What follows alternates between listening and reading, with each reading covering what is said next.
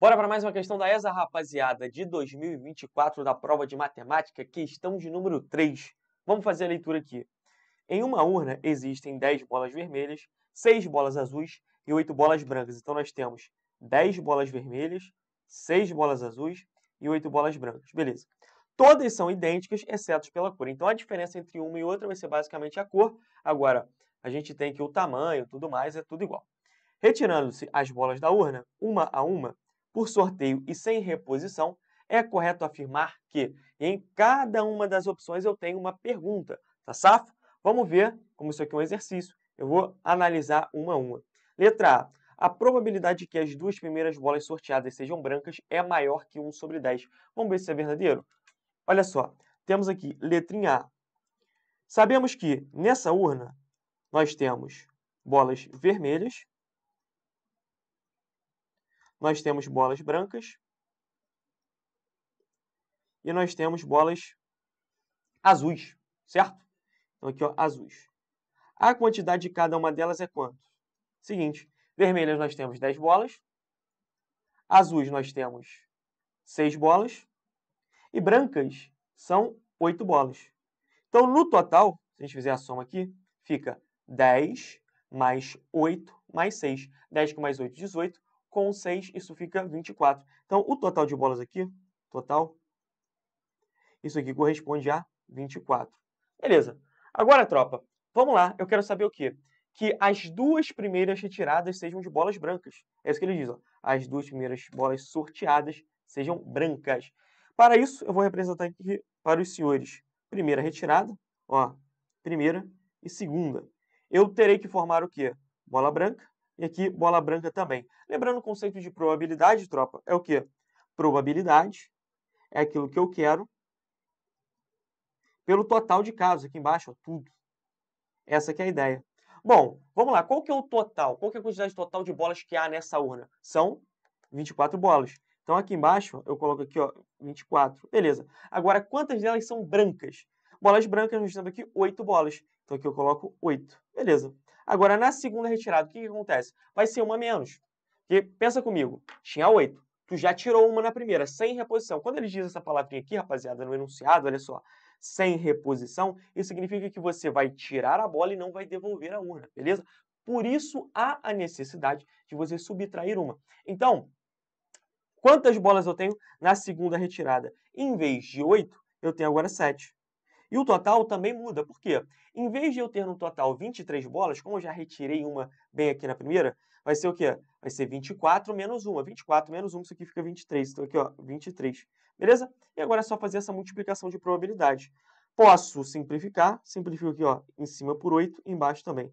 Daí teremos 8 por 8, que dá 1, 24 por 8, que isso aqui fica 3. Então vai ser 1 sobre 3 vezes 7 sobre 23. Teremos 7 vezes 1, que dá 7. Agora, 3 vezes 23, teremos 3 vezes 3, que fica 9.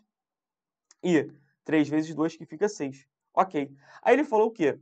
Ele disse que isso aqui vai ser maior que 1 sobre 10. Rapaziada, vamos ver se isso realmente se verifica? Olha só, 1 sobre 10, jogando aqui para vocês, 1 sobre 10, ele vai ser a mesma coisa que 7 sobre 70. Por quê? Porque 1 sobre 10 aqui é o mesmo que a gente pegar 1 dividido por 10, né? Divisãozinha por 10, virgulinha anda para a esquerda. Então, 0,1.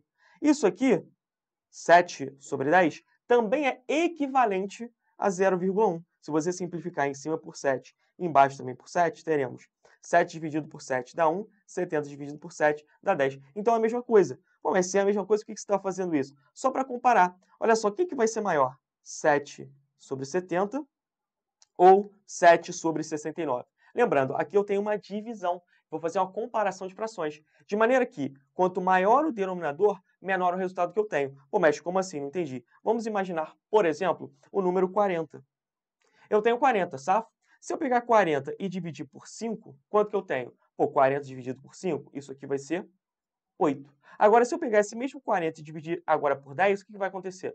40 dividido por 10, isso aqui fica 4. Ou seja, quanto maior for o camarada aqui embaixo, olha só, menor é o número que eu tenho aqui. Então, aqui eu tenho 10, ó, dividido por 10, o número foi 4. Dividido por 5, o número deu 8. 8 que é maior que 4. Então, o que, que acontece? Quem que é maior aqui? Quem que é maior aqui? 70 ou 69? Lembrando que a parte de cima já está igual. Ah, mestre, o 70 é maior. Beleza. Então, se o número aqui de baixo é maior, o valor vai ser o quê? Vai ser menor. Então, realmente, rapaziada, eu sei que 7 sobre 69 é maior que 7 sobre 70, tá certo? Por quê? Porque esse candango aqui, ele vai ser 0,1 e esse aqui, ó, se você realizar a continha, você vai ter como resposta o quê? 0,1 e alguma coisinha bem para cá.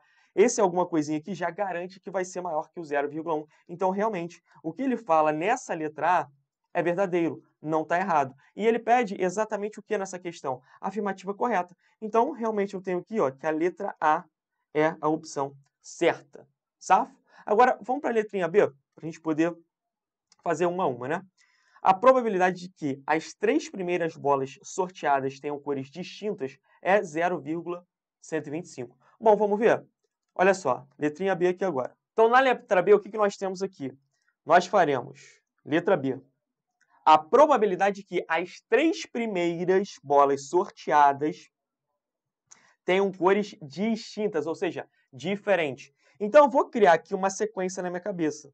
Olha só, Vamos imaginar que a primeira seja a bola vermelha, que a segunda seja a bola branca e que a terceira seja a bola azul. Tá certo? E aí vamos lá, o que, que acontece? Tirando essa situação aqui da letra A, esquece isso aqui, agora é uma nova situação, ok? Primeira retirada, bolas vermelhas, quantas eu tenho aqui no total? 10. Então aqui vai ser o quê? Probabilidade, quantidade total, 10 sobre a de baixo. Quantas são de baixo aqui? 24. Então, 10 sobre 24, beleza. Agora, para a segunda, o que, que acontece? Quantas são? Bom, bolas brancas. Quantas bolas brancas eu tenho? 8. Então, fica 8 sobre. Aqui embaixo você tem que tomar um cuidado. Você não pode escrever 24. Por quê? Tu já tirou uma bem aqui na primeira. Safo? Então, aqui vai ser o quê? Vai ser 23. Beleza. Vezes. Agora, bolas azuis. Quantas bolas azuis há? 6. Então, aqui vai ser 6 sobre o mesmo cuidado. A gente tem que perceber que aqui agora vai ser o quê? 23 menos 1, porque você já tirou aqui na segunda. Então, vai ser o quê? 22. Tranquilidade? Só que não acabou por aí. Por quê? Porque isso aqui é uma sequência possível, tá? Primeiro vermelha, depois branca, depois azul. O que, que pode acontecer? Você deve considerar todos os casos possíveis todos os casos você vai embaralhar essa ordem. Como assim? Não necessariamente tem que ser a primeira vermelha. Pode ser branca, pode ser azul. Não necessariamente a segunda vai ser branca, pode ser vermelha, pode ser azul. Não necessariamente a terceira vai ser azul, pode ser vermelha, pode ser branca. Então, na verdade, você vai o quê? Vai trocar a posição de cada uma delas aqui. Pô, mesmo, mas para trocar a posição de cada uma delas aqui, o que, que eu tenho que fazer? Eu vou ter que fazer um caso por vez separado? Não, não há necessidade. Se você vier aqui e fizer a permutação das três escolhas, você já tem esse resultado. Então, por isso que eu jogo aqui ó, permutaçãozinha de três. Tranquilo? Então, agora a gente resolve essa continha. Fica 10 sobre 24 vezes 8 sobre 23 vezes 6 sobre 22. Permutação de 3, rapaziada, isso aqui vai corresponder a quanto? Isso aqui vai corresponder a 3 fatorial. O 3 fatorial, senhores, vai ser o quê? Vai ser 3 vezes 2 vezes 1. Tranquilo? Agora a gente começa a nossa brincadeira com os cortes, né? O que, que eu posso fazer? Eu posso simplificar. Olha só, eu posso simplificar 8 dividido por 24. Aliás, 24 dividido por 8, não é? Isso aqui vai ser 3 e aqui fica 1. Tranquilo. Agora, o que, eu posso fazer? Melhorar um pouquinho mais. Olha só, pegar esse 6 aqui, ó, e dividir por 3, que ficou aqui. Então, 6 dividido por 3, aqui fica 2. Beleza. Dá para melhorar um pouco mais? Claro que dá. O que, eu posso fazer? Eu posso pegar aqui, ó, 22 divididos por 2, ó. Aí isso aqui vai ficar 11. E aí não tem mais o que fazer, é o que sobrou. O que sobrou então? Sobrou aqui para mim 10, então eu coloco aqui ó, 10, vezes o 2 aqui, ó, do 6. Ah, mestre, e o 8? O 8 aqui ficou 1. 1 não faz diferença na multiplicação. Então aqui fica 2. Agora, aqui fica 3, vezes 3. E aqui, ó, o 1 também não vai fazer diferença, safo? Então aqui embaixo sobrou 23, vezes aqui agora o 11. Tranquilo, né? Agora o que, que eu vou fazer? Agora, não tem jeito, é simplificar, multiplicar para ver o que, que vai dar essa brincadeira aí. Eu tenho 3 vezes 2, que fica 6, 6 vezes 10, isso aqui fica 60. Então aqui vai ser 60. Sobre, aqui embaixo agora, 23 vezes 11. Rapaziada, você pode armar a continha, só que eu vou pagar um bisu aqui para vocês. Multiplicação por 11, como é que você vai fazer? Cara, pega os números da ponta, então aqui ó, tá multiplicando por 23, não é? 2 e 3. Coloca 2 aqui e 3 aqui. Bem aqui no meio, Sabe qual algarismo vai ser? A soma dos dois. Então, 2 com mais 3, isso aqui fica 5. Então, aqui, ó, 253. Tá tranquilo? Você pode fazer assim para ganhar um tempo na hora da prova. E aí, fazendo essa continha aqui, quanto teremos? Bora fazer? Olha só, 60 dividido por 253. Vou colocar um zerinho aqui, ó, zero e zerinho para cá também, ficou 600. Tranquilo? Olha só, esse 600 aqui, eu já posso multiplicar isso aqui, por exemplo, por 2. Se eu multiplicar por 3 vai passar, mas por 2 vai, vai dar, ó. 2 vezes 3 dá 6, 2 vezes 5 dá 10, subiu 1, 2 vezes 2 dá 4, com subiu 5. Tranquilo? Então aqui, ó, isso aqui, cara, é aproximadamente 0,2. Ele colocou aqui para mim o que? Ele colocou é o quê? 0,125. Está errado, não é 0,125. Só que eu já cheguei no 0,2, então não pode ser a minha resposta. Tranquilo? Agora, letrinha C. Na letra C, o que, que vai ter? Na letra C eu tenho a probabilidade que a primeira bola sorteada seja branca é 1 sobre 4. Bom, sortear a bola branca. Rapaziada, bola branca, quantos eu tenho? 8. Então vai ficar 8 sobre 24, que é o total. Então, 8 sobre 24. Posso simplificar isso aqui por 8. E aí, simplificando por 8, quanto que eu vou chegar? 8 dividido por 8 dá 1. 24 dividido por 8, isso aqui fica 3. Então, eu tenho 1 sobre 3. Ele colocou aqui para mim o quê? 1 sobre 4. Então, isso aqui, ó, tá errado, também não serve para mim. Agora, letrinha D.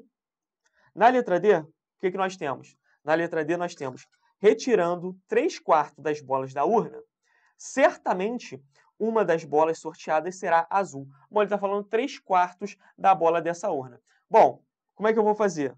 Assim, ó. 3 quartos, qual que é o total? O total que eu tenho aqui é 24. Então, vai ser aqui, ó, 3 quartos de 24. Como que eu resolvo isso, mestre? O que, que você pode fazer? Você pode simplificar 24 dividido por 4. 24 dividido por 4, isso aqui fica 6. E a gente vai ter 3 vezes 6. 3 vezes 6, isso aqui fica 18. Ou seja, ele diz, retirando 18 bolas dessa urna, eu posso afirmar, ele falou certamente, então afirmar com certeza, que uma das bolas será azul. Bom, vamos ver se isso realmente se aplica, tá? Que acontece? Eu tenho aqui 6 bolas azuis. Bom, eu tirando 18 bolas, quantas eu tenho no total? 24. Quais são as que não são azuis? Vermelhas ou brancas? Se eu somar aqui, olha só, se eu somar aqui, ó, 10 com mais 8, 10 que representa a quantidade vermelha, 8 que representa a quantidade de branca, isso aqui vai ser o quê? 18. Ou seja, retirando 18 bolas, certamente a outra vai ser azul? Não tem como afirmar isso com certeza. Por quê? Como que eu vou afirmar para vocês que essas 18 bolas retiradas aqui realmente serão essas duas? Para eu afirmar com certeza, eu tenho que tirar uma bola a mais que essas 18. Então, se fosse 19 aqui, ó, pô, retirei 19 bolas. Ah, então o que restou ali certamente vai ser azul, porque é a quantidade que sobrou, a quantidade de azul. Agora aqui não, aqui eu cheguei no 18. Então também não posso afirmar isso com certeza. Agora, na letra E, o que, que nós temos? Então, portanto, a letra D aqui ó, também é falsa. Agora, retirando-se 11 bolas da urna, certamente uma das bolas sorteadas será vermelha. Bom, vamos ver. Olha só, vou retirar agora 11 bolas. Já deu o número, ele falou que certamente será vermelha. Vamos fazer a conta aqui. Quantas bolas aqui são diferentes das vermelhas. Nós temos 8 brancas e 6 azuis. Então, se eu fizer a soma 8 mais 6, isso aqui dá 14. Ou seja, na verdade, eu precisaria tirar 14 bolas dessas urnas para que uma delas certamente seja vermelhas, considerando a retirada dessas outras. Então, também não funciona, porque eu chego num número que é inferior. Ele está falando que 11. Ó. 11 é menor que 14, então não serve. Aqui no caso deu 18. 18 é igual a essas 18. Só funciona quando for superior. Se ele dissesse aqui para mim, então, 15, aí beleza. Se ele dissesse aqui para mim 19, aí beleza. Não é o que acontece, tá? Aqui ficou igual e aqui ficou menor. Então também não dá para afirmar com certeza. Portanto, para quem ficou com essa versãozinha de prova aqui, o cara que chegasse na letra A, cara, era só marcar a letra A e partir para o abraço, né? Porque na letra A já estava a resposta, era só fazer ali a primeira, opa, é realmente isso que acontece. Marcou letra A, nem perderia tempo, olha só, com essas opções aqui. Então, gabarito da questão, letrinha A.